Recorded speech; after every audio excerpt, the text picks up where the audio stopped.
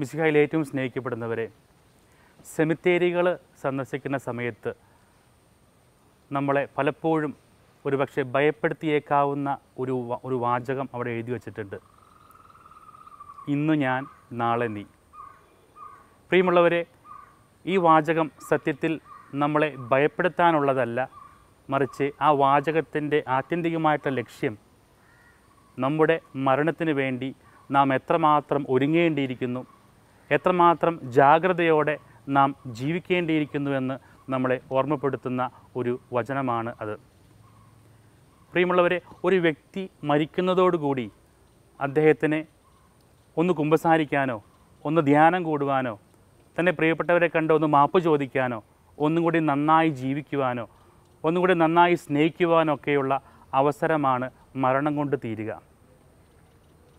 പക്ഷേ ഈ ഇന്നു ഞാൻ നാളെ നീ എന്നുള്ള ഈ ചിന്ത നമുക്ക് കൂടെയുണ്ടെങ്കിൽ നമ്മുടെ ജീവിതം കൂടുതൽ സ്നേഹിക്കുവാനും കൂടുതൽ ക്ഷമിക്കുവാനും കൂടുതൽ മറ്റുള്ളവരെ മനസ്സിലാക്കുവാനും ഒക്കെ ഒരു അവസരമായിട്ടത് മാറ്റും. നവംബർ മാസം നമ്മുടെ മുമ്പിൽ വയ്ക്കുന്ന മറ്റൊരു വലിയ ചിന്ത ഇതാണ് മരണം എന്ന് പറയുന്നത് ക്രിസ്തീയ തത്വമനുസരിച്ച് മരണം ഒരു അടഞ്ഞ വാതിലല്ല മറിച്ച് അതൊരു തുറന്ന വാതിലാണ്. വിശുദ്ധ ഫ്രാൻസിസ് അസീസിയുടെ പേരിൽ അറിയപ്പെടുന്ന സമാധാന പ്രാർത്ഥന അത് അവസാനിക്കുന്നത് ഇങ്ങനെയാണ്. മരിക്കുമ്പോഴാണ് നിത്യജീവിതത്തിലോട്ട് നാം ജനിക്കുന്നത് എന്ന്.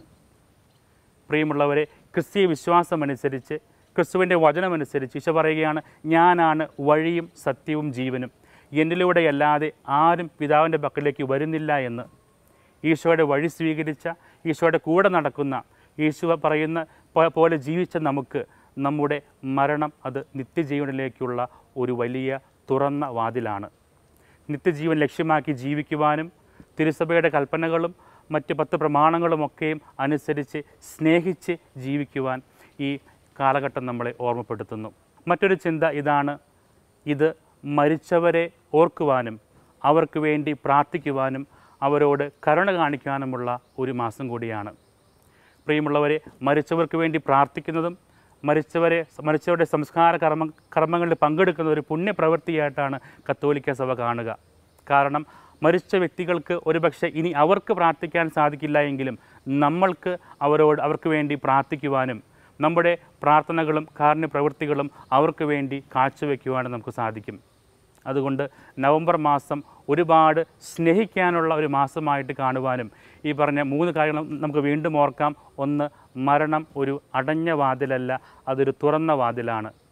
രണ്ട് ഇന്ന് ഞാൻ നാളെ നീ എന്ന് പറയുന്ന ആ വാചകം നമ്മളെ ഓർമ്മിപ്പിക്കുക. കൂടുതൽ ജാഗ്രതയോടെ കൂടുതൽ സ്നേഹത്തോടെ കൂടുതൽ ഒരുക്കത്തോടെ നമ്മുടെ തന്നെ മരണത്തെ സമീപിക്കാനായിട്ടാണ്.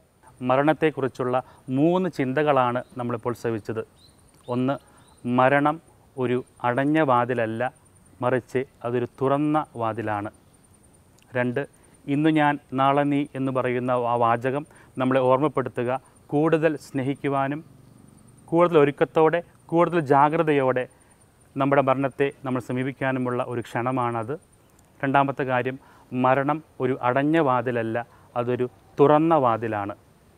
നിത്യജീവനിലോട്ട് യാത്രയാകേണ്ട അതിനെക്കുറിച്ച് ഓർമ്മിപ്പിക്കുന്ന ഒരു കാര്യമാണത്. മൂന്നാമത്തെ കാര്യം ഇതാണ്. ഇന്ന് ഞാൻ നാളെ നീ എന്ന് പറയുന്ന ആ കാര്യം നമ്മളെ ഓർമ്മപ്പെടുത്തുക. മരണത്തെ ഭയത്തോടെ സമീപിക്കാതെ ഒരുക്കത്തോടെ ജാഗ്രതയോടെ മരണത്തെ നാം സമീപിക്കണമെന്നാണ് നമ്മെ സഭ പഠിപ്പിക്കുക ഓർമ്മിപ്പിക്കുക. പ്രിയമുള്ളവരെ നമ്മുടെ എല്ലാ ദിവ്യബലികളിലും കരണക്കൊന്തകളിലും മറ്റെല്ലാ പുണ്യകർമ്മങ്ങളിലും ഒക്കെ നമുക്ക് മരിച്ചവരെ ഓർക്കാം. നമ്മുടെ കുടുംബങ്ങളിൽ നിന്ന് വേർപെട്ടു പോയ പൂർവപിതാക്കന്മാർ മാതാപിതാക്കൾ സഹോദരി സഹോദരം അവരെ നമുക്ക് ഓർക്കുകയും അവർക്ക് വേണ്ടി പ്രത്യേകം നമുക്ക് പ്രാർത്ഥിക്കുകയും ചെയ്യാം. Thank.